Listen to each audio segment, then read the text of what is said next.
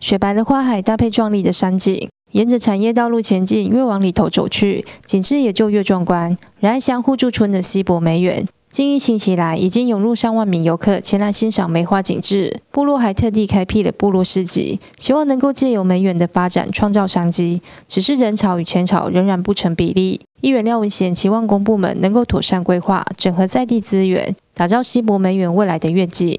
希望啊啊，我们乡公所啊啊，能够对这个区块啊啊做一个整体的规划啊，来争取经费啊啊，把这个地方啊好好的来做一个规划，吸引游客哈啊来到这里来这个消费哈，来这里参观啊，能够促进呢我们地方的繁荣啊，增加我们原住民的收益。梅花谢了之后开始结果，以往梅子都是由工厂大量采购，一公斤七到九块钱。由于经济效益不佳，部分农民开始砍挖梅树，改种其他更有经济价值的作物。砍挖数十年的梅树，直接破坏土质生态。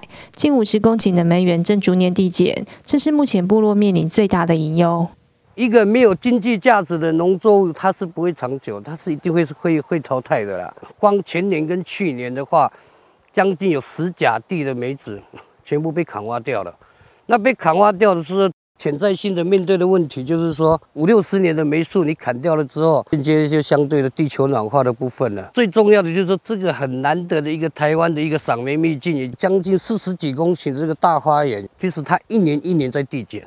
议员廖文贤指出，要提高梅子产值，最直接的方法就是设立加工厂，大幅提高梅子经济价值，更可提高果农收益。同时，也有赖各界多多选购梅产品，打开更多通路。